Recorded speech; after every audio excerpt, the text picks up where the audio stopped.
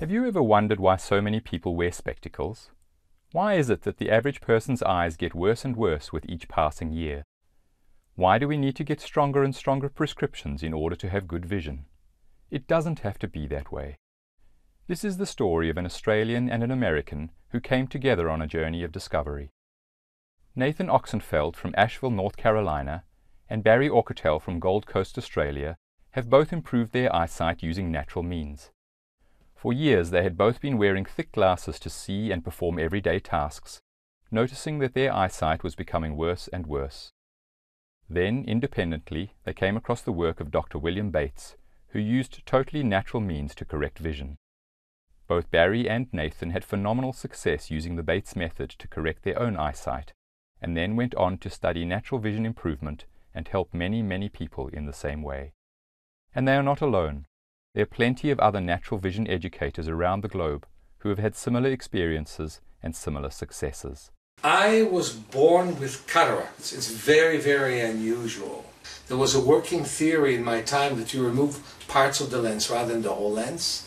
And 99% of my lens is scar tissue. This is a normal lens, mm-hmm. and this is mine after five cataract wow. surgeries. So 99% of my lens is scar tissue. I was able to build up enough vision with which I can read, write, and drive. I always explain, first of all, neuroscience has demonstrated the neuroplasticity of the brain, and eyes are part of the brain. That's the thing, the problem with current like traditional eye care. They only look at the eyeball as if it's like this thing that you can take out of, you know, I can take it out of my eye and there can observe it and that's it. But the reality is that um, we are driven by the nervous system. So the brain is really in charge of muscle tension, of coordination. And so any vision problems can be completely changed. Like you, like you can change your brain, your eyes can be changed. So why is it that in the year 2020 this method isn't more popular? Why are our eyes getting worse instead of better? Why is such a successful tool not entering the mainstream? And so began the journey to discover the answer to these and other questions on vision.